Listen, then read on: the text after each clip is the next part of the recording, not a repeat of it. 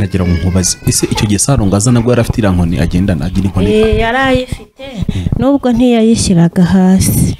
Eh, hanyuma rero iyo nkoni ndamubwira nti uzi ko iyo nkoni ugendana mu rugo wahasize ikizingo cy'inzoka? Iyo iyo ari nijoro haje nk'umuntu. Mm. haje nk'umuntu nyine kwaka imiti. Iyo nkoni ugenda ukayishinga mu kizingo cy'inzoka kiri ahantu mu nguni. Ni ahantu nabonaga mu nguni rero hari harimo n'akantu kameze nk'agakono ariko nkabona karimo amaraso ahoramo. Mm. eh, ahoramo. Ndabimubwira. Arangije aravuga ngo ubundi uri mu ntoki? Aravuga ngo uri umwicanyi? Uri iki? Ndavuga ni ntabwo ndi umwicanyi nkorera kirisito ndavuga ni umunsi umwe iriya nzoka izakurya. Hanyuma arambwira ngo iyi ngo ndavuga ati n'ubu tuvugana. Ntushobora kuyishyira hasi. Ni kuko ushobora kuyishyira hasi ugahita ugagara. Arangije arambwira ati buse kuki ntayishyira hasi? Ngo ngaho yirambike hasi nushaka kuyishyira uruhande rwawe. Aranga. Bati po sintegekwa n'abagore Eh, sintegekwa n'abagore n'agasuzuguro kenshi kenshi. Nuko ndamubwira ariko umunsi umwe uzabonana n'imana iwe afite inzoka nini nini cyane nini cyane. Mm. Mm. Do- iriya nkoni rero iriya nkoni ifite ubutware bw'ikuzimu buba burimo. Itegeko afite ntashobora kuyishyira hasi. Kuko na nijoro iyo aryamye ayiraza ku musego w'aho aryamye. Ni ukuvuga ngo umwicaranye waramurondoye akantu kose arahaguruka aragenda. Nta- ntabwo yatuma ubimubwira byose ahita ashya. Imbaraga z'imana ziramutwika kuko ubonye nyine atangiye yigorora atangiye amera nabi ahita agenda. Ariko buriya yemeye akicara mugahangana burya yakwikubita no hasi. Eh, imana irambwira ngo hari umuntu ugiye kuzahura nawe aza abanza agerageza impano zawe. Atuzamubona nzamukwereka nzakumenyesha amakuru ye. Ariko ntiyambwira iyo mbwira ko ari sarongo ntaho nari kujya. Eh, kuko naramwumvaga ku maradiyo eh. noneho irambwira ngo uwo muntu. Ngo ni umurozi ukomeye. Ngo ariko njye nzaba nkomeye kumurusha. Ngo nzabana nawe. Urabona namwe turabonanye.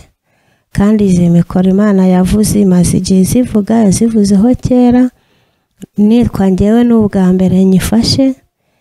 Ntabwo nari nzi ko tuzabonana ngo nanjye nyifate mu ntoki. Mwabonye ko no kuyifata bwa mbere byabanje kungora. Eh, eh, ariko rero isezerano ry'imana ntirihera. Wabwiwe n'iki ko yagiye kwa sarongo? Iyi sarongo yaramuzanye. Yaramuzanye aza kundeba. Urabeshya Eh, sarongo murareba gutya amaso ku maso eh, yaramuzanye. Ahageze imana ihita imbwira uwo ari we. Noneho mpita mubwira uko akora mubwira ukuntu. Nyine ubwo habaho guhangana kw'imbaraga zawe n'iza Eh, arambwira ati ese wankozeho ukansengera ko ubonye uburwayi ngira? Ndavuga nti imiti ufite ntabwo yanyemerera ko nagukoraho. Ndamubwira nti kereka wemeye ko tuyitwika aravuga ngo nkorana n'imbaraga zikomeye. Ntabwo wowe se bishobora mwaganiriye ndashaka ikiganiro mwagiranye na sarongo icyo gihe. Sarongo rero yaraje aricara azana n'abandi badamu batanu. Noneho avuga ati aba ni inshuti zanjye ndashaka ko ubasengera. Noneho nabasengera nkabona bamwe ni abarangi. Nkabona basengera no mu barangi. Noneho imana nicaye aho nawe ye- nicaye nka hano nabo bicara nka hariya. Noneho mugezeho ndamubwira nti ariko ni ko ndi kubona ibintu by'imiti y'abarozi bimeze bite ku buzima bwawe? Arambwira ngo sindi umurozi ahubwo ndi umuvuzi. Ndamubwira ntese uvura iki? Ko mbona hari abantu uhemukira kandi nawe ukaba uzapfa nabi ubundi ubasha kwihana? Arambwira ati ese umuganga ukomeye yabasha kuba iki? Ndamubwira na ikimenyimenyi n'agatuza kawe urahumeka hakazamukamo umwuka umeze nk'u- nk'unuka nk'uwaboze mu gatuza. Ndamubwira ati kandi hari n'igihe ugenda uhinyagurika kubera umugongo hari ibintu bikurimo byaturutse ku miti wanyweye. Ndamubwira nti kandi ufite n'imbaraga z'igikuzimu ujya ugikuzemo wowe. Arambwira ngo ibyo bintu uri kuvuga ntibihuye ngo n'imbaraga mfite ngo njye ndi umuvuzi ukomeye cyane ngo reka nigendere. Agenda ariko mbona ko amerewe nabi. Ntuvuga ngo buriya saro ngo abarokore bishyize hamwe bamusenyaga Eh, cyane rwose. Wabonye nawe burya ni feke ni umuntu uri aho ngaho aba fake no kwirirwa rwose, kuko abanyantege nkeya gusa. Yanagiye amerewe nabi ubona ko ahindutse ukuntu ubona ko ahindukiwe mbese. Zaburi nshya. Mana yacu mana nziza mana ifite imbaraga. Uri uwera urakiranuka. Uko wari uri kera yesu n'ubu ni ku kiri. Turagushimiye kubera ko uzi kurinda amena turagushimiye kuko warinze abo bashyitsi. Wabarindiye mu byuma bitavuga. Urabayobora ubashyitsa hano amahoro. Izina rya yesu nirihabwe icyubahiro. Turagushimiye kuko isezerano ryawe. Ntabwo rijya rihera turagushimiye. Mana ndagushimiye cyane kubera ko uyu mwanya ni we wawuteguye. Mpamvu nta kibi utakizi turaguhimbaje. Nyemerera aka kanya wirukane satani n'abadayimoni. Mu izina rya yesu kirisito manukana imbaraga zawe turinde turengere kandi komeze uhagararane n'abo bakozi bawe. Imbaraga z'imana zibane nabo ubutabazi bwawe bubegere. Mu izina rya yesu kirisito turagushimiye cyane. Kuko uri imana yabanye nabo mu minsi yose yatambutse ayiwe wagaragaje kunesha kwawe. Izina rya yesu rihabwa icyubahiro. Nyemerera cyane uyu mwanya mwiza mwami imana yacu tugeneye. Uzubane natwe kandi uwiteka bari wowe ugaragara. Mumuro yawe tubonekeho bwiza bwawe butuganze. Mu izina rya yesu. Basabiye umugisha iburyo n'ibumoso maraso yawe abobonekeho yewe mana ndakwinginze kugira ngo kirisito bari wowe ugaragara bana natwe rero mu izina rya yesu kirisito amen. Murakoze cyane ko dusengera tunasuhuje kandi abantu badukurikiye kuri zaburi nshya. Ubuntu bw'imana ni bube kuri mwebwe. Wowe wahisemo gukurikira zaburi nshya uyu munsi nitwa pamphile ndi kumwe na ernest kuri kamera tugize umugisha wo kugenda ah, dusura umukozi w'imana dushimiye ikaze muduhaye kandi tunashimiye ku twakira mudusengera hanyuma uyu munsi tubagendereye kugira ngo tuganire tuganire ku buhamya. Mwabonye imana gute mwa kuko ubuhamya bufasha abagenzi kandi ubuhamya mu buhamya bw'ubuzima bwacu ntibwashemo umugambi w'imana ni naho hahishemo guhishurwa kw'imana ku buzima bwacu. Niyo mpamvu tukugendereye. Rero turakwakiriye kugira ngo dutangire wibwira abadukurikiye uratubwira amazina ndetse unabarangira aho duhaherereye uyu munsi ni karibu. Eh, murakoze. Nitwa mukanakimana. Uzamure mikorofone nk'uko nyifashe nitwa mukanakimana esiteri hanyuma ndi umubyeyi w'abana icyenda. Naje nurutse icyangugu ariko navukiye ku kibuye. Hanyuma rero umutware wanjye n'uyu turi kumwe. Yego. Tubi n'ahangaha ubwo itorero ryanjye na adeperi nsengera hakurya ahangaha i murambi. Imurambi umutware w'impamvu utari kugaragara ni uko nyine ubu arimo arokipa umwana mu- kandi ntabwo dushaka gushyiraho amashusho y'abana. Nawe nitumugeraho eh, araza kutwibwira ni karibu. Hanyuma rero murakoze. u- uduhe urwo ishusho y'ubuzima bwawe muri kirisito yesu nuko wabonye imana. Mm, nabonye imana rero? Mbona ukuboko kw'imana yesu arandohora. Yego buryo nabonye imana na- nashatse umugabo ufite imyaka cumi n'itanu hanyuma we yari afite mirongo ine n'itanu. Ntabwo twabashije kubana kubera ko nyine icyo gihe yarampohoteraga antera n'icyuma hano gutya ariko yesu arandinda. Muri icyo gihe rero natandukanye nawe ariko ari imana ivuze kuko yari afite umugambi mubi nyine wo kunyica. Imana irahankura nshima imana. Muri icyo gihe hari bibiri na cumi na gatandatu na gatanu. Cumi- bibiri na cumi na gatanu rero ni ho nakijijwe. Twaje n'ahangaha ndiga nigira umubatizo mbatirizwa nyine murambi nakubwiye. Icyo gihe imana ni naho yambatije mu mwuka wera. Imana impa agakiza ariko muri icyo gihe ni ho nari mfite ubuzima bubi maze gushakana n'uyu. Wigize imbere gato mikorofone kugira ngo oya ikwegera ahubwo. Eh. Ubwo noneho ndakumva neza. Muri icyo gihe rero eh, mvayo muri bibiri na cumi na gatandatu mbona imana. Nagize ubuzima bubi ndwara bwaki ariko muri uko kurwara bwaki nari mfite ibiro makumyabiri na bitanu. Uri umubyeyi? Ndi umubyeyi. Noneho mukuru w'uyu icyo gihe namubyaye afite ikiro kimwe n'igice. Ariko mpabwa agakiza muri icyo gihe mbatizwa ameze gutyo imana irambwira ngo izangirira neza. Imana irambwira ngo izankura mu ruzerero hanyuma uyu nawe yari amaze kundeka bamubwira ngo ndi umukecuru mbese abona yuko tutakibanye nari ntwite iyo nda ariye. Ariko imana ikambwira ngo izongere imugarure. Nabonye imana rero yaramungaruriye.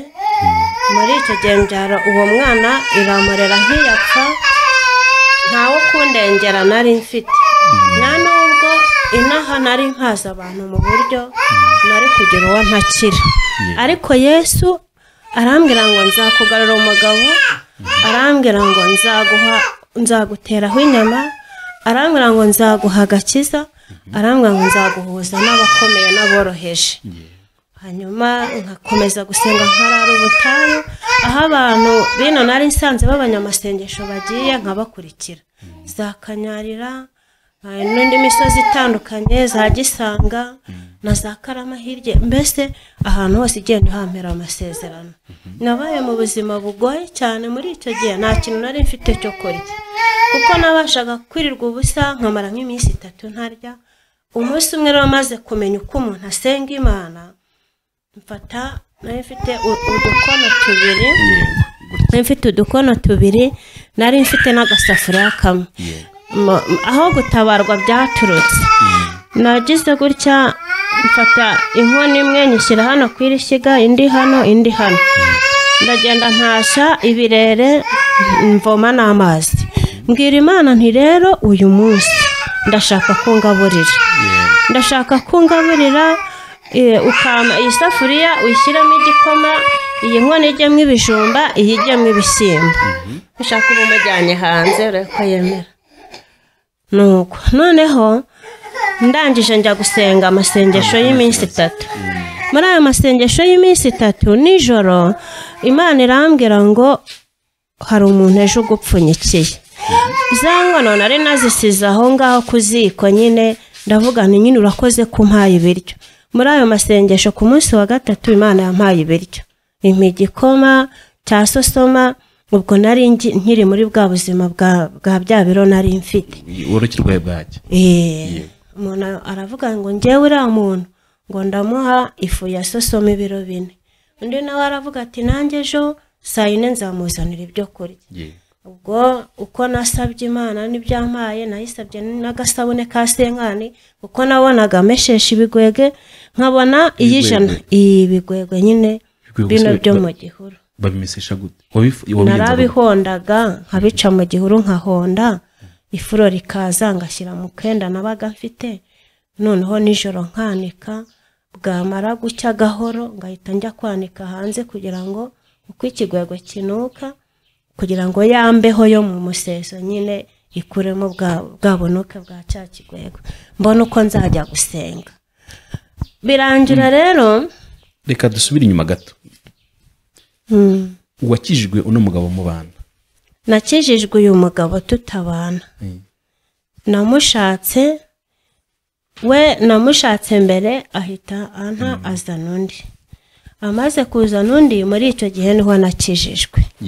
Maze gukizwa imana irambwira ngo nkorera neza.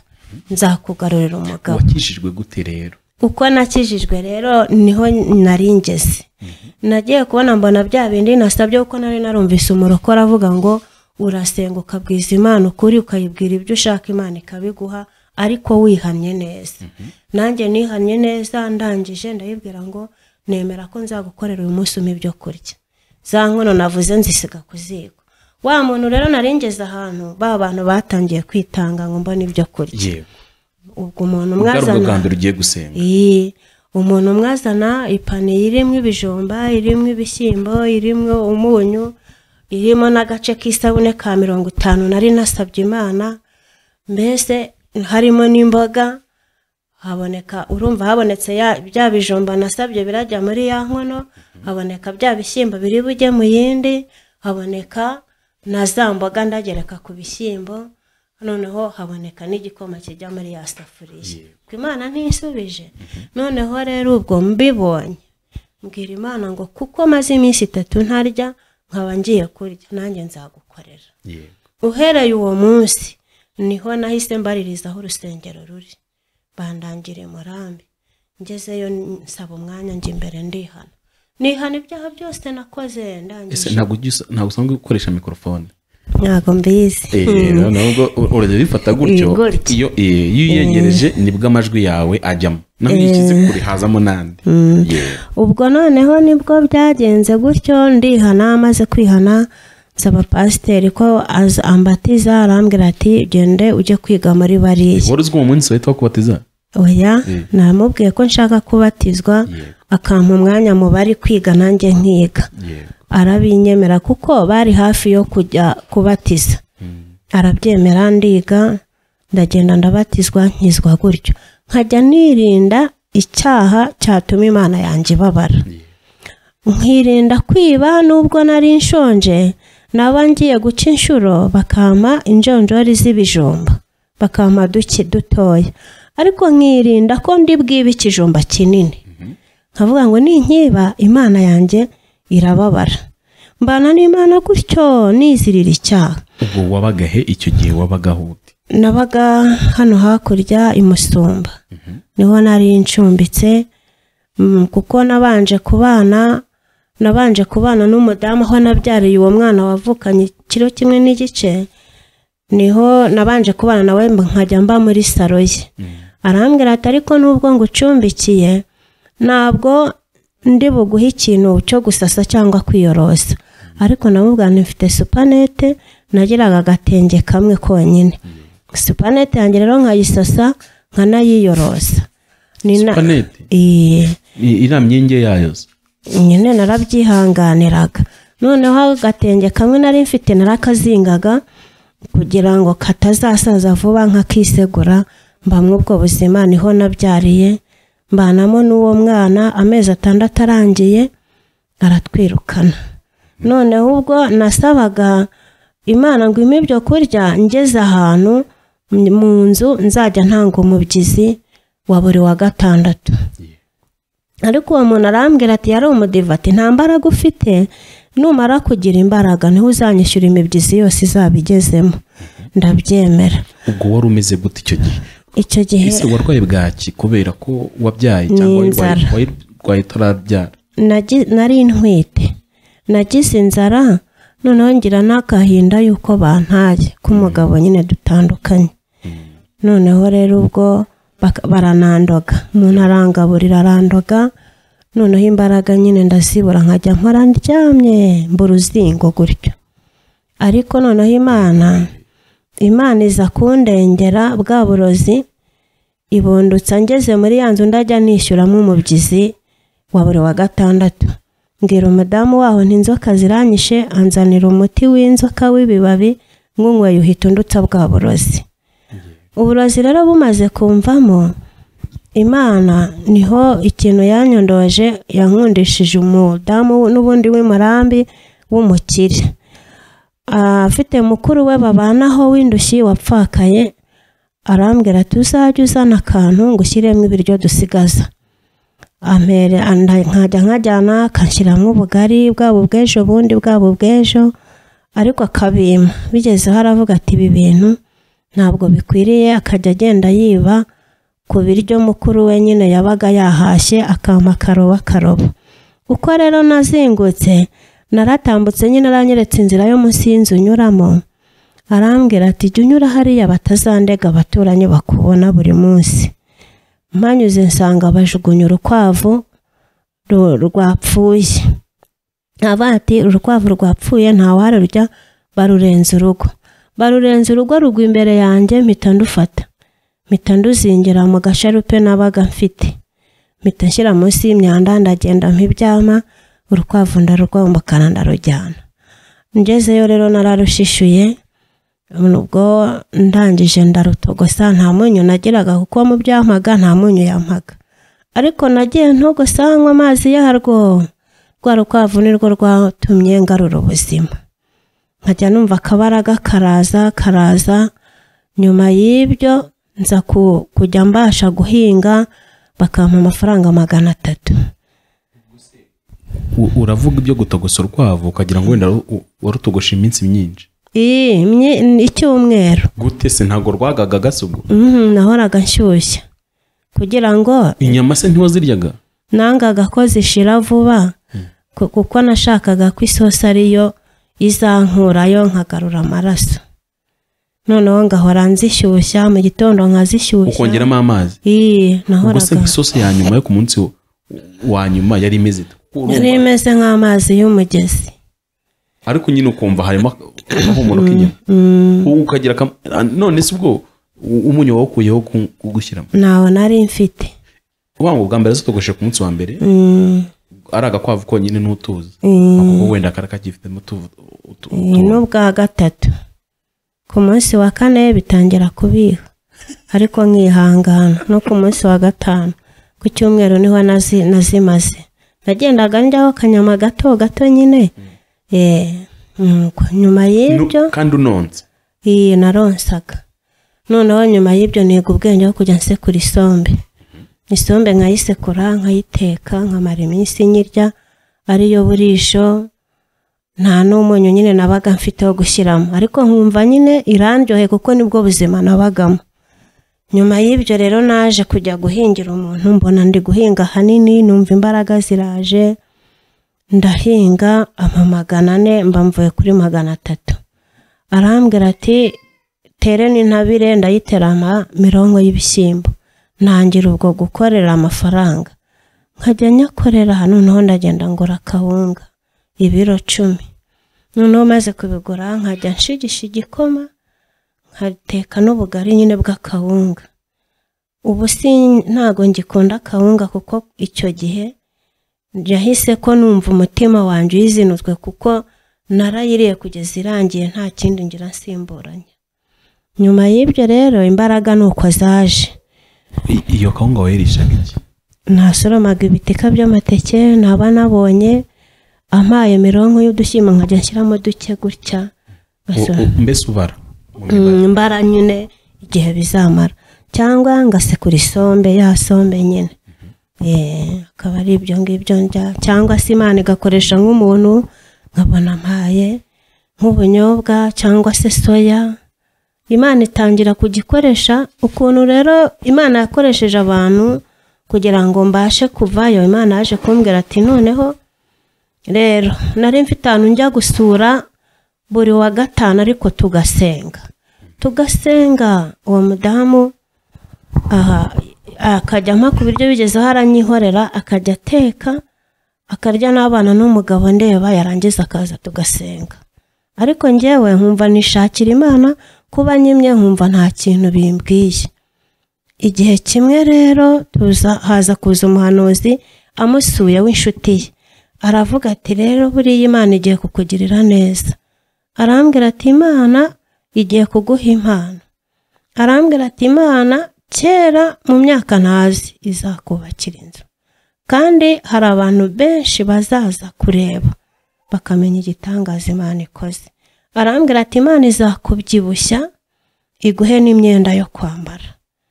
Ara- mbese ambwira ibintu byinshi ariko nkumva simbishyikira kuko numvaga nta cyiza nabona. Amwe ihora arigendera ikindi gihe tuza kujya kumusura. Noneho tugiyeyo tumushyira ngense kuri isombe abandi bamushyira ku byo bejeje. Ndavuga ati ikintu neza ni isombe nsaba abantu none reka abe ariyo mushyira niyo ngira. Ndayimushyira tugeze yarampagurutsa arambwira tugiye kwambara iribaye utigeze ubona. Arambwira ngo imana uyu munsi iguhaye impano u- igiye kujya ugiye kujya usengera abantu bakira uburwayi abafite ibibazo imana ibasubize ati igihe kizagera iguhe n'imikeka. Noneho ndavuga ni se ko ntagira n'umusambi wo kurara aho mba muri supanete aravuga ati rero bo bazajye basasa ibitenge byabo hasi imana izabagirira neza. Birangira ntashye njya guhinga. Ngiye guhinga numva ni nk'umuntu uvugiye nk'ahantu ntazi ijwi riri kure ngo taha ujye imuhira ndataha ngeze muhira nsanga harakinze. Aravuga ngo genda ujye ku muhanda uko byatangiye nyine. Ngeze ku muhanda asanga umuturanyi arwaye amavi ibintu biri kumuhekenya bari kumuterura ari abagabo bane. Numva wa muntu arambwiye ngo kora kuri ariya mavi. Nyakoraho. Nyakozeho ahita akira aravuga ati nimumfashe inkoni. Ati ibintu byari birimo biragiye ati bimanutse mu maguru biragiye. Arahaguruka ahita ajya imuhira atangira kujya azana abantu bo ku itorero. Ati nimuze ati sitera arasenga. Ati nabonye impano iri muri we. Bamwe baza bakaba bati po uru ruzingo se rwasengera nde? Abandi bakabyemera. Icyo gihe imana izanamwo abadiyakoni izanamwo abaririmbyi bimusumba. Noneho riravuga ngo tugize gurupe iyo gurupe n'uyu munsi iracyahari. Tumaranye maze imyaka umunani nkijijwe na yo niyo imaze imana idushinze gutyo. Noneho muri icyo gihe rero ababonye ko musengeye akagira ikintu abona imana ikoze namubwiye byazaga nk'inzozi ni ho yavugaga ati kamushyire ku bijumba wenda arongera nsengere akavuga ati kamushyire ku bugari. Akavuga ati kamushyire tuno dushyimbo. Bikaza bisuzuguritse ariko bikaza. Ngewe nkabibona ko ari nk'igitangaza imana ikoze kandi koko cyabaga ari cyo. Kuva icyo gihe ntabwo nongeye kuburara ngo mbwirirwe. Kuva icyo gihe imana igenda inzamura nkabona akaboko karabyimba nkabona umuntu anzaniye umwenda noneho wo kwambara noneho nk'umuntu w'umukire yahamagara undi yaza yandeba akavuga ati uriya muntu umugarutseho ubutaha banseka akanzanira igitenge. Ntangira kwambara gutyo ariko nabibona nibutsa imana inkuye nkatangira nkarushaho gukunda imana neza. Kugeza igihe nzaniye umugabo wanjye araza turabana akiza ni ho nahise ko nisanga mbyibushye gutya. Nisanga mbyibushye gutya imana nyine igenda imbwira ukuntu nza n'iyi mikoro ndimo mvugiramo imana yayivuze muri icyo gihe impa ako gakiza nyine ndi kuri uwo mudamu iyi mikeka yayihanuye muri icyo gihe iyi ngiyi ni ibirubu yazanywe n'abantu nsengeye baje gushima. Ndababwira ati muyijyane ku rusengero imwe bayijyana ku rusengero ibiri ndayisigarana ubwo rero nyine ni uko nguko nakijijwe mbaho gutyo hanyuma nkajya ngenda mba ahantu bakavuga bati noneho igihe utaduha amafaranga agenda bakanyirukana. Ejo nkagenda ngacumbika ahandi. Ubuzima nyine burangora burangora. Ubu n'aha ni aho ducumbitse hari habamo umubosi ariko nawe nyine baba bavuga ati mugende. Imana ikavuga ati mube muretse. Hari icyo imana yambwiye muri make. Hari icyo imana yambwiye navuga nzakivuga gisohoye. Yego. Hanyuma ubu niyo mpamvu wicaye kuri ako gakeka kwicaye kuko imana akazanye mu rugo. Ngewe nicaye ku mufuka. Urimo ibigori ahari. Harimo imyumbati hano harimo ibigori. Ibisigi bya jide ibi ukuntu byaje rero twasengeye ku mupapuro hano hirya. Imana irambwira ngo kubera ko nkorera neza ubwo numvaga ko ntazaba umukozi w'imana uzajya urya nkomeje guhabwa n'abantu. Nkabwira imana ngo njye uzambabarire ujye umpa imirima nishaka ngabane. Tugabane. Noneho irambwira ngo kuko ukunda guhinga nzaguha imirima yo guhinga. Ubwo twabyaye uriya mwana. Tumaze kubyara abantu batuzanira ibyo kurya abandi bashyiraho igihumbi abandi bitanu. Noneho tugiye kubona tubona tubonye ibihumbi mirongo itanu. Hari umuntu imana ubwo warabyaye imana iguhemba yarampembye kuko yarabimbwiraga. Noneho tubona umuntu twahingiraga tugabane. Ahora dusuzugura agatwara ibinini akaduha bitoya. Ntabyo wabimbwiye byatugabane. Ntabwo nari ibyo nabifuza bintu byatugabane mwabigenzaga mute? Ibyo bintu byatugabane yampaye umurima. Nkahinga nkazana ifumbire nkazana n'imbuto. Noneho akaza tugatera. Noneho muri uko gutera akavuga ati tuzafatanya kubagara. Kubagara byagera akavuga ati shaka umukozi abagare mu ruhande rwanjye. Byaba bagaye nk'imibyizi ine yari kumuha imibyizi ine nanjye nashyizeho ine ikaba umunani. We rero akambwira ati ngewe ntayo muha ubundi umurima ni uwanjye. Ubwo nkayishyura ariko ndi kurira uvuga ati ese ubu. Ko duhemukiye kandi twarakoze imbuto ari iyacu ifumbire ari iyacu no guhinga ubu bimeze bite? Birangira. Imana imbwiye ngo buretse nzagucira agasuzuguro. Noneho birangira umunsi umwe dukura ibirayi byarimo. Agurisha amateke wenyine yari arimo ntiyaduha. Nabyo birambabaza. Muri iryo joro uwo munsi yavuze ngo ndetse nzahagurisha ngo ntabwo uzongera gusubizamo. Ndavuga nti nta kibazo uzahagurishe. Ntariko bibaye byiza uzahaduhe. Avuga ati mwe ntabwo ibihumbi mirongo itanu mwabibona nzahaha umuntu ubifite. Ati cyakora nimuyishyuramo kabiri wenda nzakubabarira kuko narakubabaje muri uriya murima ndavuga nti nta kibazo. Birangira rero imana nijoro inda iramfata buke njya kubyara. Itariki yaduhaye amafaranga yavuye mu ruhembe imana yaduhembye noneho ya tariki abona ahubwo hasi hayo muri guma mu rugo abona turayamushyiriye. Imana itugurira uwo murimo wa mirongo itanu gutyo. Niwo rero twahinzemo ibi bigori.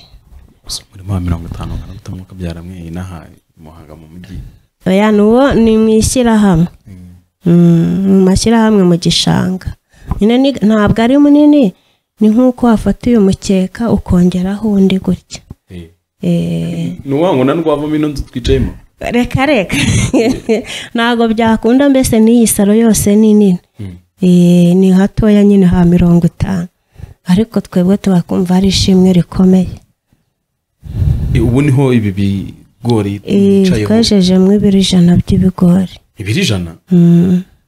none izuba bibiri ni bingahe? Ibindi twagiye turyaho tugenda turyaho. Eh, ubu hano kana gasigaye n'imbuto oya tuzabirya dukura imbuto muri tubura Eh, bagenda nyine tukiyandikisha bakaduha imbuto nziza itoranyijwe bakaduha n'imvaruganda noneho nyine amafaranga tukajya twishyura buhoro buhoro.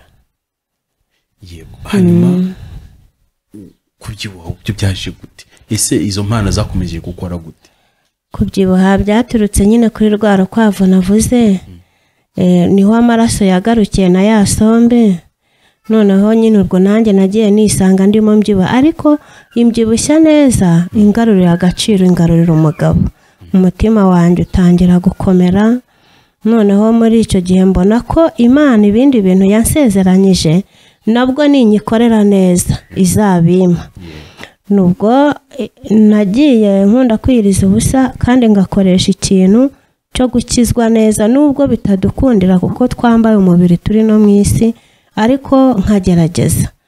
Noneho impano nyine zikomeza gukora haba no mu itorero mu gihe twagiye mu masengesho impano zikomeza gukora birangira imana ikajya izana nk'umuntu wasaze. Nkamusengera akaza nyine akavuga ati tuzanye uno muntu ngo dufashe gusenga. Namukoraho namukoraho nkabona arakize. Yaba arwaye nkabona namusengera agakira. Birangira imana inkoze ku maso nkajya ndeba nkabona ahantu urwaye nkamenya icyo urwaye. Impano zigenda zikora gutyo. Birangira rero imana impaye kuyikorera ikajya izana abantu benshi nkabasengera bakigendera ni uko impano zakuze. Mm, ni uko impano zakuze kugeza na n'uyu munsi. Uretse ko wenda ahangaha ndiho ntabwo byemewe ko nasengera abantu hano n'iyo hagize umuntu uza ufite ikibazo cy'uburwayi cyangwa ikindi kibazo mujyana nko mu gihuru mu ishyamba akaba ariho dusengera bitewe n'uko uyaducumbikiye ariko ntabwo umugore we yemera abantu baza mu rugo rwe ntakunda barakore nuko ubwo rero ni uko nguko nkorera imana nkaba ntegereje yuko izangirira neza. Kuko yansezeranyije ibintu byinshi irambwira ngo ninyikorera izantabara nyine ubutabazi ni bwo ni bwo ntegereje. Ni uko nguko rero ni muri ubwo buryo nakijijwe ni muri ubwo buryo n'impano zakomeje gukora. Zigenda zunguka uko bukeye nunguka ikindi kintu uko bukeye nunguka ikindi kintu. Bitewe n'uko nasenze. Eh, bitewe n'uko nasenze bitewe n'uko negereye imana nkaba hafi yayo. Kandi nkagerageza no gukiranuka kuko burya impano iyo uzivangavanze n'ibyaha zishobora no kuvangirwa zishobora no guceceka. Ariko uko imana igenda ikugirira icyizere niko nyine zigenda zikora. Mm, ni ibintu utamenya ukuntu biza ujya kumva ukumva wungutse ikindi kintu bitewe n'uko wabanye n'imana. Nkumva ko mu gihe nayikoreye neza nyitezeho ubugingo nkumva ko mu gukizwa kwanjye icyo mparanira cyane ari ukugira ngo imana izampe ubugingo izampe aho aho kuba inkure mu icumbi rya buri munsi. Kandi n'iyo yanyura ikeza ubugingo bwanjye nkazagera ahantu nsika abana banjye Eh, mba numva ariyo ntego mfite. Mbese intego nyamukuru mfite ni iyo gukorera imana neza. Ntitaye ku by'umubiri cyane aba ari ukugira ngo imana izanyihere iherezo ryiza. Uko nagize kubabara cyane muri uko nguko umugabo yanteye icyuma ni ukuvuga ngo yarandinze. Ikintu cyatumye nyikunda cyane ni uko yandindiye ubura ntibwatoboka kandi ntihazamo na kanseri. Numva ari ishimwe rikomeye icyakora aho igejeje ikora ndayishima nyine. Mm, nshima imana aho igejeje ikora kubera ko njyewe nabonaga ubuzima ndimo ntazigera mbugeramo numvaga nzahaye cyane ariko uyu munsi mfite amahoro mu mutima kubera ko yesu yampaye agakiza. Kandi ko yesu yagiye ampa abantu benshi nkavugana nabo nkabasha gukomera no gutuza umutima. Urabona namwe turabonanye kandi izi mikoro imana yavuze imaze igihe zivuga yazivuzeho kera nitwa ngewe n'ubwa mbere nyifashe ntabwo nari nzi ko tuzabonana ngo nanjye nyifate mu ntoki. Mwabonye ko ko no kuyifata bwa mbere byabanje kungora. Eh, eh, ariko rero isezerano ry'imana ntirihera. Eh, umuririmbyi ni we waririmbye ngo mana aho wankuye nanjye ubu ngubu iyo nibutse aho yankuye nshima imana. Ariko ubu nshima yesu nyine nubwo nkiri mu ruzerero ariko yesu azangirira neza. Eh, aho igejeje ikora nyine ndayishima. Urabona yampaye imbaraga nabasha guhinga ibijumba abana bakarya cyangwa bihingira. Eh, im- impano uwo murimo wo mu gishanga nubwo ari uwa leta isaha ku isaha bahatwaka bakahakoreshamo wenda nk'ibyo bakeneye. Ariko nshima imana ko yabikoze. Ishobora no ku no guca izindi nzira ikabanyuza ahandi bakajya gukorera imishinga ahandi kugira ngo tube duhinga aho ngaho turye nyine. Ubu se ahangaha muba birabakundira ko muhasengana n'abantu abantu bashobora kuzana bakahasengera bigakunda ntabwo bene urugo umupapa wawe yakunda ariko uyu mudamu ntabwo abyemera. Ubwo si iyo abantu bashaka kubasengera bigenda gute? Mbajyana mu gihuru mu ishyamba. Hano hirya hari agashyamba nubwo mwampamagaye ariho nicaye. Hepfo ya dorone gake ahantu mwakatiye ku- ku gahanda k'itaka mutaye ujya mu misizi ye hepfo yaho nyine harimo agashyamba ni ho mbajyana. Kuko uyu ntabwo akunda barokore mbese nta bantu akunda mu rugo rwe. Nawe isaha ku isaha nyine bavuga ati mugende. Imana ikavuga ati mube muretse n'injye uzahabakura ubwo urumva turi nko hagati no hagati umwe aravuga ngo tugende undi ati guma aha. Buriya yahakodesheje nyine hari uwaducumbikiye hano. Ahaducumbikiye uyu aje ku ku- gukodesha yishyuye hose mirongo irindwi. Urumva n'izi nzu nize kuko yazishyuye. Eh, kandi nta bushobozi dufite bwo kugira ngo duhite tuvamo. Nyine umuntu aramubwira ati buretse dushaka aho kuba yabona icyumweru kirashize ati ko mutagenda. Ariko umugabo akavuga ati wabaretse wabaretse ko ari umukozi w'imana akaba ahari ko nawe imana izamutabara. Mama we yaza ati nimugende iyi nzu ntimwayigwatirije niba hari ideni rihari tubishyure. Nuko ubwo nyine urumva ni ibikomere biracyahari Eh, hanyuma se ubwo iyo wicaye mu gashyamba uri gusenga mm, ubwira imana uti amagambo yavugwaga wayumvaga. Mm, ndayibwira nyine mana agahinda mfite urakazi ayibwira ni wamba warambabariye ibyaha urangije umpa agakiza urangije umpa ibiru nteraho inyama none ndashaka ko ungirira neza ukampaho kuba ariko ntabwo nanareba nkabona nta nzira. Nk'icya mbere nk'iwacu nta n'umunani nahabona. Mama yapfuye kera papa azana undi mugore amuzanye agabana ab- abana icyenda afite abagabanya agasambu yari afite.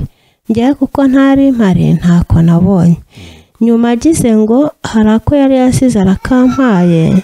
Yari agasize ngo napfa akazava mu isanduku ye. Murumuna wanjye aravuga ngo reka aka- akagure. Ampa ibihumbi magana abiri arambwira ngo azabinzanira. Nyiriya nyine nyamasheke. Noneho we aba i nyagatare ubwo yabikoze ngewe mbi n'ahangaha aragenda avuga ati nzayakoherereza kuri telefone. Ndavuga nti nta kibazo. Noneho arayanyuma nza kujyayo ngenda kuri telefone y'undi muntu w'inshuti yanjye wimukiyeyo avuye inaha arambwira ati narahabonye ahantu aba abona ndahingutse. Nagezeyo rero ahita ajya gucisha eh, abadayimoni ku mu- ku murozi bita sarongo mujya mumwumva kuri radiyo. Ariko ngenda mfite amakuru imana yarambwiye uko bizagenda.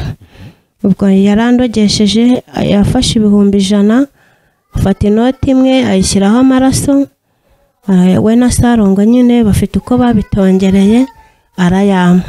Ayampaye nyashyira mu gahago ashyiramo telefone bene aha ako kanya mpita mfatwa. Ariko yari yamubwiye ngo yari yamubwiye ngo andoge gusara. Kuko yampatanye ibihumbi mirongo irindwi na bitanu ijana na mirongo irindwi. Amuha mirongo irindwi. Aramubwira ngo nasara ririya jana ndabamuhaye arayata nyatore nyakuzanire. Noneho sarongo we imana inyuranya amaboko yabo ahita andoga amahembe. Ihembe rimwe rimfata umutwe irindi rimfata mu rutirigongo. Rimwe ryo mu mutwe yaryohereje nijoro. Ariko imana yari yabitubwiye turimo dusenga. Hanyuma irya nijoro ritanyishe ahita yohereza iryo mu rutirigongo. Imana ikoresha abakozi b'imana binaha. Bahuza imirongo noneho bansengera kuri telefone ndi nyagatare. Ihembe rirandekura bahita bantegera mpita nza ni na yo yababwiye ahantu iyo noti iri mu zindi note nari mfite. Amafaranga barayanyatse bakuramo ya note ba- bampa mirongo cyenda na bitanu. Ngo bahita bakuramo ya tike ubundi mpita inza nageze inaha ndarwara ndabirwara cyane bansengera ku bw'amahirwe mbona ndakize. Ubwo urumva ayo yasigaranye ntago nzasubirayo kuyareba. Agasambu kamfira ubusa gutyo nyine. None se wabwiwe n'iki ko yagiye kwa sarongo? Iyi sarongo yaramuzanye. Yaramuzanye aza kundeba. Urabeshya Ee, sarongo murareba gutya amaso ku maso. Ee, yaramuzanye. Ahageze imana ihita imbwira uwo ari we. Noneho mpita mubwira uko akora mubwira ukuntu nyine ubwo habaho guhangana kw'imbaraga zawe n'iza Eh, arambwira ati ese wankozeho ukansengera ko ubonye uburwayi ngira? Uka- ndavuga nti imiti ufite ntabwo yanyemerera ko nagukoraho. Ndamubwira nti kereka wemeye ko tuyitwika. Aravuga ngo nkorana n'imbaraga zikomeye. Ntabwo wowe se bishobora mwaganiriye iki? Ndashaka ikiganiro mwagiranye na sarongo icyo sarongo rero yaraje aricara azana n'abandi badamu batanu. Noneho avuga ati aba ni inshuti zanjye ndashaka ko ubasengera.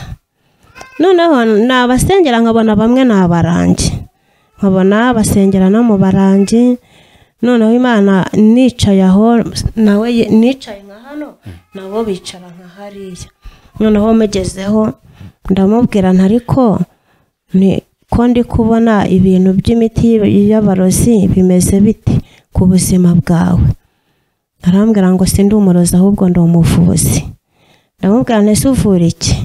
Ko mbona hari abantu uhemukira kandi nawe ukaba uzapfa nabi ubundi ubasha kwihana? Arambwira ati ese umuganga ukomeye yabasha kuba iki? Ndavuga ese umuganga ukomeye? Ubu urabona arusha imana imbaraga? Ndamubwira ni kandi ufite imbaraga z'ikuzimu.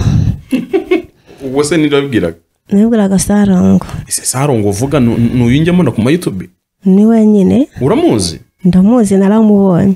Nze nshaka ifoto ye ndebe ko ari komeza umbwire noneho noneho rero ni bwo yambwiraga ati njyewe mfite imbaraga zikomeye. Arambwira ati ibyo uvuga ntabwo byahangana n'imbaraga mfite.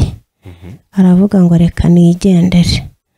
Ubwo yahise agenda ariko yari ari kuntwara umwuka ntwara n'ijwi kugira ngo- eh, ako- ari- ari- iyi ari yaraje gukoroka. iyi yaraje afite misiyo. Mm. muri iryo joro ni ho nyine nafashwe n'umutwe udasanzwe.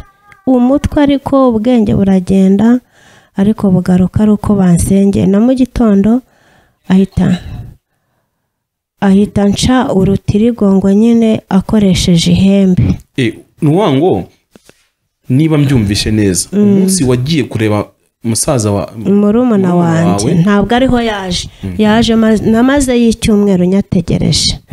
Kumbe noneho- uko utegereje murumuna wawe niko we ari guhana gahunda na sarongo Mm, kuko nyine hari i nyagatare ahafite ahafite n'inzu ngo y'ivuriro rye.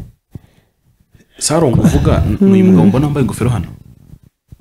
Iyi ni uyu nguyu. Wambaye ishati y'umweru. Dore ni uko yari ameze.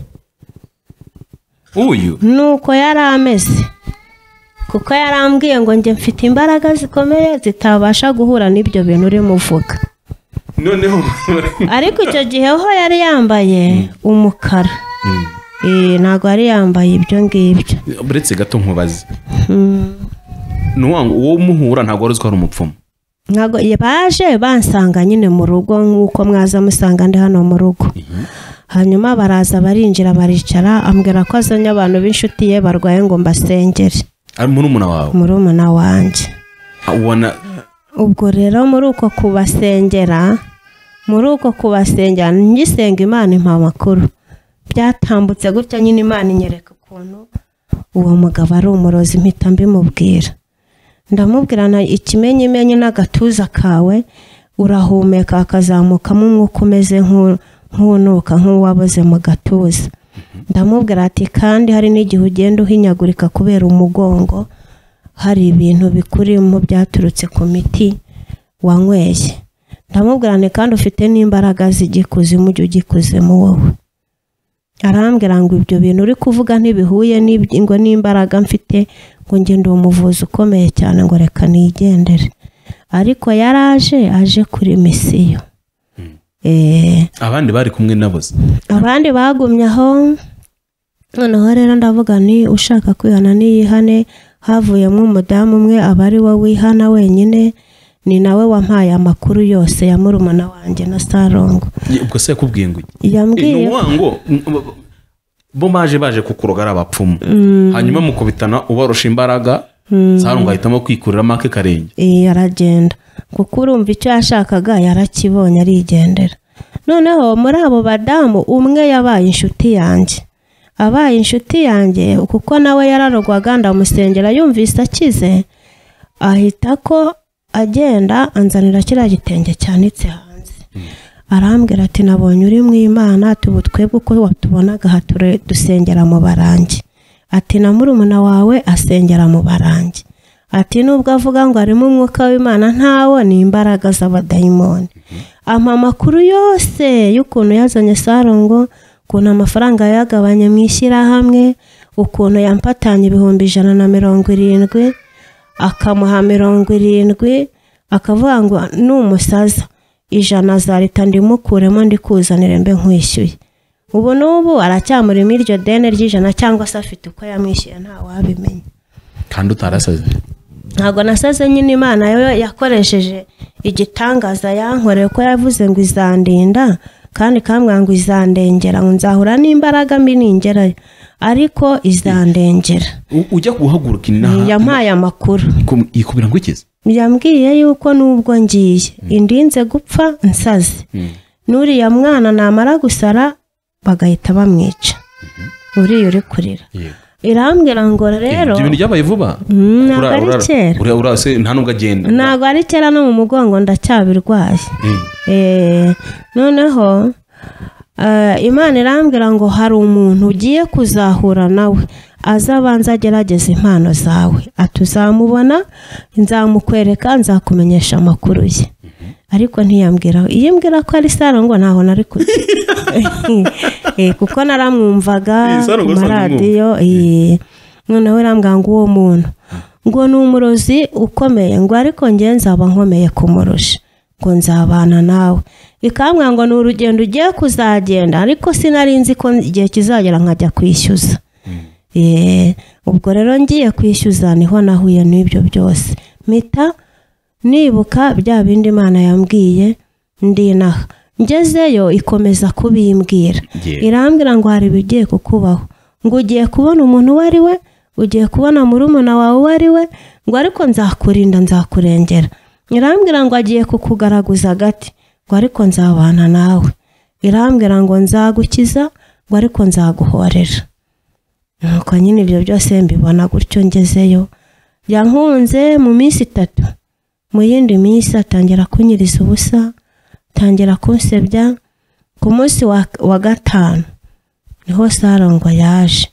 Kuko ku cyumweru ni ho natashye ku wa gatandatu ni ho byambayeho ku cyumweru mu gitondo abankubise ihembe ryo mu gatirigongo mpita nikubita hasi nari mpagaze baranterura. Banteruye noneho ni bwo imana yabwiraga umuntu ngo nibahankure banjyane ku rundi rugo ngo ningumaho ndapfa. Baranteruye bantereka kuri moto bashomeka ku mumotari. Hagati bashyiramo umwana. Imyenda narayitaye ntayo najyanye. Ndagenda baransengera ni ho imana yahishuye. Ayo mafaranga kuko yayampaye nijoro saa yine ariho bageze mu rugo. Naho bavuye kugera gute? Kuyaroga. Nyakiriye. Niho nahise mfatwa n'umutwe udasanzwe. Ubwo rero nkimara kuva ngeze inaha nabirwaye nk'ukwezi bansengera. Imana iravuga ngo irankijije eh, irambwira ngo bari bagambiriye ko nsara mu minsi itatu ngahita mpfa. Ariko none iravuga ngo yanyuranyije indimi zabo n'amaboko yabo banteza iki? Amahembe. Ubwo urumva ibyo basezeranye si ibyo yakoze kubera imana nsenga. None se sarongo yaguhunze igihe mwari mwicaranye? Njya nicaye hano kuri uruhande nawe nabo bicara hariya hakurya nyine. None se yemeye ko umubwiriza? Hehe ntabwo yabyemeye yumvise ntangiye ku maze kumenya uwo ari we neza. Ndi kumubwira byose ntangiye kuvuga imana neza ntangiye kuzura umwuka wera ahita avuga ngo ihe imbaraga z'indimo ntabwo bi- bihwana n'ibyo bintu urimo uvuga. Ahita ahaguruka agenda ngo ibyo ni iby'abatekamutwe. Ngo pu ahita agenda. Hanyuma se ninde wagusabye ngo umusengere muri bo? Nari nzi ko sarongo nawe yagusabye ngo umusengere? Mhm, yahise agenda. Yahise agenda kuko natangiye kumubwira ko ari umuntu yajya ikuzimu ngeze kuri iryo jambo. Ntangira kuzura umwuka wera. Arangije mbona ahindutse ukundi kuntu aravuga ngo hihi ngo reka ngende ngo imbaraga mfite ngo n'ubuvuzi bwanjye ntabwo buhura n'ibyo bigambo urimo uvuga ngo reka ngende. Ahita agenda ngo ibyo ni iby'abatekamutwe ngo ntabwo ibyo bindeba. Agenda ariko mbona ko amerewe nabi. Ntuvuga ngo buriya sarongo abarokore bishyize hamwe bamusenya agasenyuka Eh, cyane rwose. Wabonye nawe burya ni feke ni umuntu uri aho ngaho kwirirwa rwose. Kuko abanyantege nkeya gusa. Yanagiye amerewe nabi ubona ko ahindutse ukuntu ubona ko ahindukiwe mbese. Eh, ubwo rero ndamubwira nti nutihana uzapfa nabi. Ara- aravuga ngo ibyo ni byo abatekamutwe ahita agenda. Muri ba bagore rero hari ababashije kugenda nk'abagiye konsa abana ntibagaruka. Noneho hasigaramo babiri muri babiri havamo uwo nsengera akize ahita ko aba inshuti yanjye. Amukunshimira azanye kiriya gitenge kiri hanze. Noneho arangije ajya yampa amakuru neza y'ibya wose hano ngo n'abo bantu bagiye na murumuna wanjye. Murumuna wanjye njye n'iwacu twamufataga nk'umuntu w'umukire yazaga yambaye neza ariko dusanga ari umuntu w'umwambuzi dusanga ari umutekamutwe dusanga ari n'umurangi yari umuntu ukorera. N'ubu ibyo bintu byose n'ubundi buba butunzi mubona nubwo bavana mu mu myuka mibi. Eh, noneho ni ho naje mbwira papa nyine uko murumuna wanjye ameze n'ibyo yankoreye. Ariko mbimubwiye vuba nta kwezi kurashira. Na- nabaye ndetse. Eh, nabaye ndetse. Ese ibyo bintu byawe na sarongo byabaye muri uyu mwaka wa bibiri na makumyabiri na kabiri? Eh, uyu turimo. Eh. Eh, ni ejo bundi mu kwa kangahera uko bisa kose hashize nk'amezi atatu. Mukubitanye na sarongo imbaraga zirahangana. Eh, hanyuma ugeze inaha mm, urumva we imbaraga zari zigikomeje kugukurikirana? Eh, zarankurikiranye ndarwara cyane ariko abantu baransengera na ya gurupe nababwiye kare. Baransengera noneho umunsi umwe imana irambwira ngo yayuyeho igicu cy'umwijima ngo umurozi yantwikirije. Uwo munsi imana ibimbwiye ni ho nakize numva ko mfashe imbaraga narya nkumva biremera afite imbaraga zikaze uretse ko zitarushije iz'imana yacu. Eh, yaranyishe buriya sarongo yaranyishe. Eh, yarampushije nuko ubwo birangira rero nkize. Mhm. Eh, ubu nkorera imana numva ariko mu mugongo biranyubuka nkumva ndapfuye simbashe kugenda.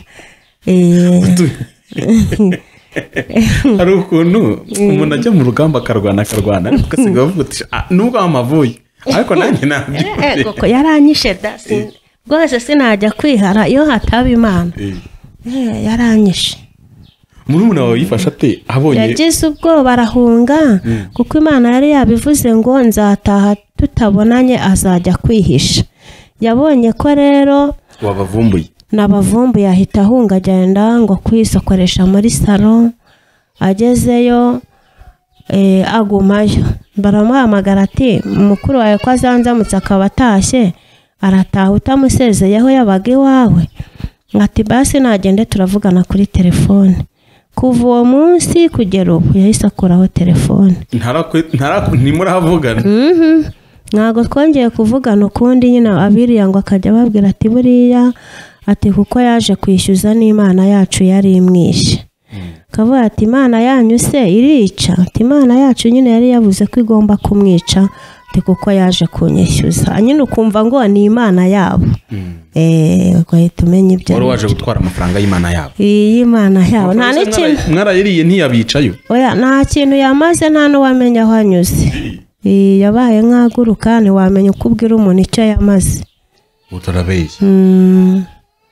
Nta- rwose natwe ubwacu byaraducanze. Nta kintu kizima yabamariye ayo mafaranga. Iyi ntacyo. Ubwo- rero guhaye ijana gusigayemo irindi jana Mm. naryo zari ijana imana nimubuze amahoro ariko njye sinasubirayo. Eh, reka reka.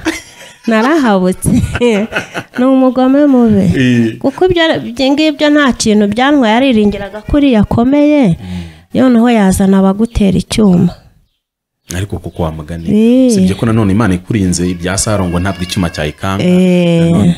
Ariko mbere y'uko tugana ku musozi ngo dusenge, dutahe Mm. ah, birumvikana ko nubwo ukorana n'imana mu buryo buhambaye gutyo Mm. Ariko ubuzima bwo mu isi bwo burankakaje. Buragukakaje iyo imana ikubwiye ikubwira iki? Yaba ari imana yakubwiye ibintu nawe ntubikore kuko hari igihe mbarokore nanone twumva nabi. Iby'imana bivuze akaba atari byo twumva. Ni igihe cyo gutabarwa kitaragera ahari kuko nkimara gukizwa insezerano iby'aka karago. Yampaye isezerano ko izampa inzu yo kubamo. Ikanyubakira ikampa mbese inzu umuntu wese azatangarira. Uko izaba yubatse ntabyo nzi n'uko izaba ingana. Ariko yavuze ko inaha muri muhanga nagiriye ibyo bibazo byose. Nandavuriye ko ariho izantabara kugira ngo bamenye ko ari imana ikomeye. Hanyuma irambwira ngo ikimenyetso. Iwanyu hazaza abanyamakuru. Uvugane nabo uzakira mikoro ati ugiye ndetse iheruka no kubivuga ati ugiye kuvugira kuri mikoro. Hanyuma hareruya yewe yesu kirisito amina iravuga ngo uzavugira kuri mikoro amaso yawe azabireba iravuga ngo hariho n'ikindi gihe. Uzavugira kuri mikoro uvugire kuri radiyo eh, ushima imana icyo gihe uzaba ureba iyo nzu nakubakiye. Noneho rero ubu twaje hano imana arabikubwiye ndabizi mbimaranye igihe amakuru nari nyamaranye imyaka itanu y'iyi mikoro. Mbere y'uko dusoza nagira ngo nkubaze ese icyo gihe sarongo aza nabwo yari afite iriya nkoni agendana agira inkoni? Eh, yari ayifite nubwo ntiyayishyiraga hasi. Eh, hanyuma rero iyo nkoni ndamubwira nti uzi ko iyo nkoni ugendana mu rugo wahasize ikizingo cy'inzoka? Iyo iyo ari nijoro haje nk'umuntu. Mm. haje nk'umuntu nyine kwaka imiti. Iyo nkoni ugenda ukayishinga mu kizingo cy'inzoka kiri ahantu mu nguni. Ni ahantu nabonaga mu nguni rero hari harimo n'akantu kameze nk'agakono ariko nkabona karimo amaraso ahoramo. Mm. eh, ahoramo. Ndabimubwira. Arangije aravuga ngo ubundi uri mu ntoki aravuga ngo uri umwicanyi uri iki? Ndavuga ntabwo ndi umwicanyi nkorera kirisito ndavuga umunsi umwe iriya nzoka izakurya hanyuma arambwira ngo iyi ngo ndavuga ati n'ubu tuvugana ntushobora kuyishyira hasi. Ni kuko ushobora kuyishyira hasi ugahita ugagara. Arangije arambwira ati buse kuki ntayishyira hasi? Namubwira ngo ngaho yirambike hasi nushaka kuyishyira uruhande rwawe. Aranga. Bati posi ntegekwa n'abagore Eh, sintegekwa n'abagore n'agasuzuguro kenshi kenshi. Nuko ndamubwira ariko umunsi umwe uzabonana n'imana iwe afite inzoka nini nini cyane nini cyane irankoni rero irankoni ifite ubutware bw'ikuzimu buba burimo. Itegeko afite ntashobora kuyishyira hasi. Kuko na nijoro iyo aryamye ayiraza ku musego w'aho aryamye. Ngo umwicaranye waramurondoye akantu kose arahaguruka aragenda. Nta- ntabwo yatuma ubimubwira byose ahita ashya. Imbaraga z'imana ziramutwika kuko ubonye nyine atangiye yigorora atangiye amera nabi ahita agenda. Ariko buriya yemeye akicara mugahangana burya yakwikubita no hasi. Eh, kuko imbaraga z'imana yacu zirakomeye. Mwabarokore mwe utazamwishoraho Mm, akurusha imbaraga ntabwo nabikora. Oya n- n- si wowe. Kuko wowe niba yaragutinye gutyo ni uko agutinya. Ariko ha- ubu hari umuntu ushobora gukurikira zaburi nshya atavuga ariko nanjye nzamwisheteho ngo ndumvisha ashoboye.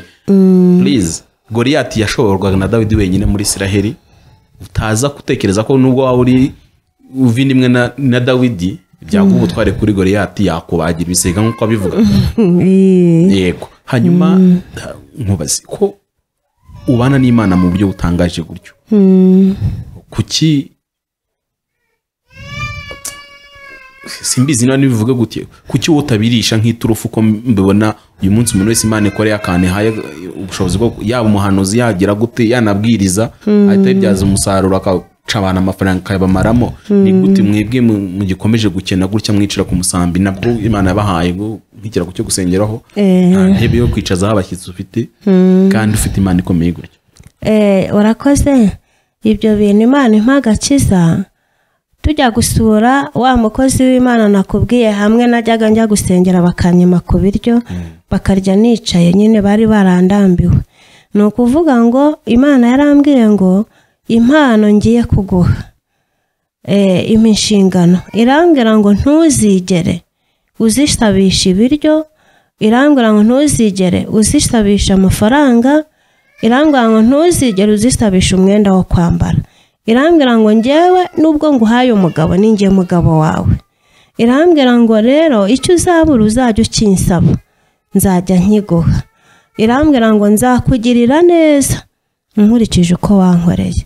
Ni na yo mpamvu reba ubu iyi mikeka nubwo yashambagurika nta muntu waza ngo musengere n'abanyakigali baraza. Imodoka bakazishyira hariya. Ariko buriya ntushobora no kumbwira ati mutwe uranyishe nsengera cyangwa se mfite ikibazo gisengera nugisengera nzaguha amafaranga cyangwa igitenge ngo mbyemere. Ndavuga ni hoya ngewe ndagisengera wenda iyo ubishatse. Wumva uri mu mutima wi- u- mbese uri mu imana wenda ushobora kunsigira magana atanu uko umutima ukwemeje. Nkabona um- umfunze gutya. Iyo niyo mpano imana yantegetse bavuga ati cyakora mw'uwo murimo nzagutungisha amano yanjye. Mano rero ukuntu tuyibona nshobora kubwira nk'umuntu yaba aje ikamukomaho nkabona nzaniye igikoma cy'umwana cyangwa se ampaye isukari cyangwa se ampaye magana atanu cyangwa igihumbi cyangwa bibiri cyangwa rimwe na rimwe bitanu. Ariko akayama ari nka kumwe wansezeraho ugahita umfumbatisha. Cyangwa ukavuga ati nateguye ko ntabwo ari ikiguzi ntabwo. Ntabwo ari ikiguzi. Rero ibyo bintu yaba ari ibyo nabikora rwose nasengera n'abatanzaniya bababaye nsengera abantu bo muri canada kandi imana yagiye ibagirira neza. Imana ikabibona ikambwira ati "Wowe usengera abantu bagasubizwa bakakwibagirwa ariko ngewe nzakwibuka buri wese amenye ko nakwibutse. Nta tansiyo mfite rero sinshobora n'iyo wayazana nakubwira ntiyasubizeyo kuba nasengeye umwana wawe agakira imana ishoboje ntibivuze ko nakwaka ikiguzi kereka imana igukomanze ku mutima. Ni inshingano nahawe n'imana. Kandi nyine urumva ko mbirenzeho yarambwiye ngo nubirengaho uzapfa nabi. Irambwira ngo kandi nubyubahiriza nzakugirira neza umuntu wese azamenya ko nahuye nawe. None se ubu mu nzara iyo usengera nk'umuntu we yariye haze wowe inzara ikwishe Mm. uba wumva umeze gute mu mubiri mu by'ukuri? Nta kibazo mba numva ko nkorera imana igihe kizagera ikangaburira. Kandi iyo numvishije nyine bikomeye ndagenda nkihererana n'imana nkayibwira ni umunyu wabuze kuko hari ikintu satani yankoreye kimbabaza. Uriya mugabo nubwo imana yamugaruye ikamukura kwa mukeba wanjye ni ukuvuga ngo yaramuroze. Yari afite umupfumu we n'ubundi. Aramubwira ati rero umpa umuti. Yamubwiraga ko uriya mugore asenga kandi ko azasubirana n'uriya mugabo. Arangije aravuga ati uyu mugabo nasubirayo. Ntazigere atekereza ko yamugurira umwenda ntagatekereze ko umwana akeneye mituweli ntagatekereze ko umwana akeneye igikoma mbese uko abyumva. Noneho ni ukuvuga ngo no guhinga ni imana yagiye ibizana igenda. Hari n'igihe wabonaga ko agiye gusara baramuhaye imiti mibi. Ariko mu gusenga imana igenda imubohora imubohora imubohora ubu nshima aho igejeje ikora tujya mu murima tugahinga iyo tugabane cyane nitugabane dutunze. Imana igenda iduha tugabane tukarya harya tugabane watubwiye ngo ni uburyo umuntu aguha umurima ugahinga mukazagabana ibyo mwejeje. ibyeze ndahinga nkazana imbuto n'ifumbire nkatera nkabagara byakwera nkaguhamagara cyangwa ukangirira icyizere nkabijyana mu rugo nkabitunganya nkasuya ngahura nkagabanyamo iyanjye nkayigumana iyawe nkayikuzanira. Ntacyo ndengejeho ntinya amaso y'imana ntabwo ntinya amaso ya wa muntu. Nshingiye inzara yesu yankuyemo. Nkavuga ni no kuba ibi bike tubibona ni witeka wahabaye. Nkavuga ngo nimba ikiranukamo izaduha n'ibindi byinshi. Kandi nkavuga ngo yesu naho atazabiduha azampa iherezo ryiza. Urakoze cyane. Nagira ngo tugane ku musozo. Umuvandimwe ufite impano imana ya- yaguhaye ari yo yose yaba kuririmba yaba kubwiriza yaba gusengera abarwayi n'ibindi ntabwo yabiguhaye kugira ngo bibe igicuruzo cyawe ahubwo ni umushinga w'imana abantu bakwiye kuwubenefisiyamo ntabwo ari wowe ukwiye gutunga niba esiteri yicara agasonza gutya kandi asengera abakomeye n'aboroheje atabazaniwe mu rugo abajyana mu ishyamba usibye gutana ingaruka iryo shyamba niryo tuzakora mu kiganiro noneho nanjye nshaka kuzajya kuzajya gusengeramo nzakujyanayo ni ahantu hari amavuta y'imana mbese iyo ngiyeyo ndushye. Ni ahanumva nduhutse. Reka tubanze tugere ariko noneho. Eh, nta kibazo. Noneho senga dutahe Eh. senga dusengera dutahe. Noneho tubanze duce n'aho hantu. Eh, duce n'aho hantu. Urakoze cyane. Mm. mana data wa twese.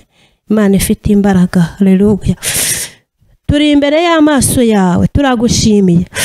Cya mbere ngushimiye haleluya ni uko usohoza isezerano ryo kuvugira kuri iyi mikoro warabivuganye nanjye. Uri imana itabeshya uri imana ikomeye mbirebesheje amaso data mwiza ndagushimiye. Ntabwo uvuga nk'abantu uravuga ugasohoza haleluya. Turagushimiye kirisito kuko wemeye yuko mwami njye ugaragara nk'isuzugurwa mu rugo rwacu yinjiramo aba bagabo. Hakinjiramo ibi byuma. Izina rya yesu nirishimwe nyemerera uturindire ubugingo n'umubiri. Kwemerera umwuka wera w'imana akomeza atembere muri twe. Ubutabazi bwawe bubane natwe. Mahoro utanga kirisito dusesekareho umugisha aba bagabo. Mu izina rya yesu bakomereza amaboko barengere ku munsi mubi. Hayiwe mana ndagushimiye kuko wigeze uvugana nanjye ko barinze impanuka. Mu izina rya yesu nirishimwe. Mana wabarinze babonesha amaso yanjye. Mutwara babonesha amaso ye. Izina rya yesu rihabwa icyubahiro. Ngaho bagarukeho bundi bushya. Tugirire imbabazi uwiteka. Neza yawe twomeho umugisha utanga utukurikirane mu izina ryiza rya kirisito amen. Amen. Abaho umugisha